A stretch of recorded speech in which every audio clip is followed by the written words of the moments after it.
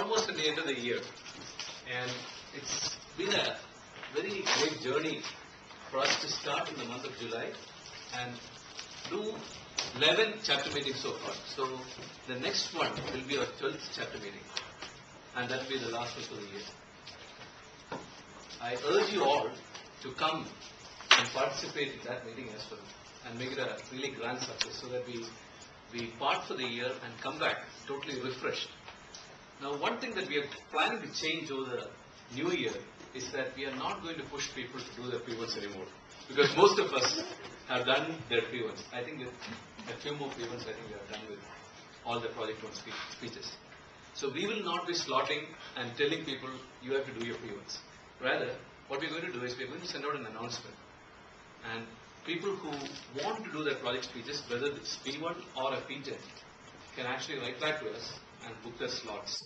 And it will be on a first come first served basis. So this is the first change. This is the, this is the most important change that we are planning to make. The other thing that we want to also make sure that uh, everybody understands is that we need appointment holders for every chapter meeting. So if you could actually volunteer when we send out this announcement, when if you could volunteer for what slots you are willing to take, what appointments you are willing to take.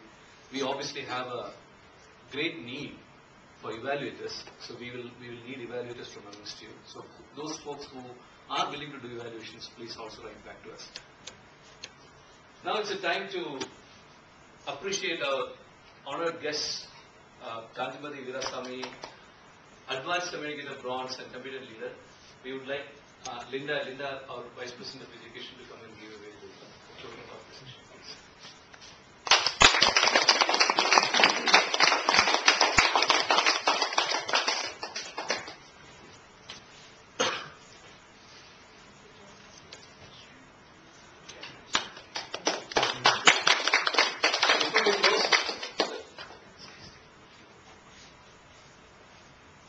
Present the ribbons for the best table topic speaker, best evaluator, and the best prepared speaker. The best table topic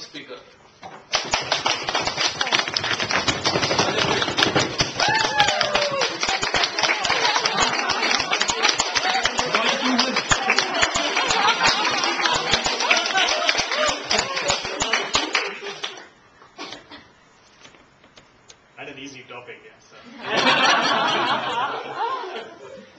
The best prepared speaker.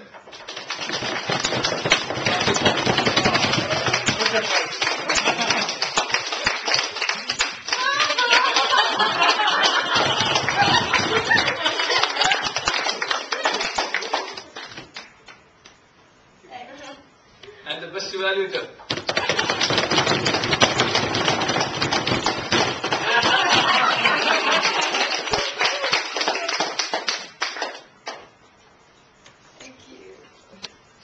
Very much, Linda. That's all we had for today, folks. Thank you very much for coming and making this such a such a wonderful, energetic, and uh, incredibly enthusiastic experience for everybody. Thank you very much.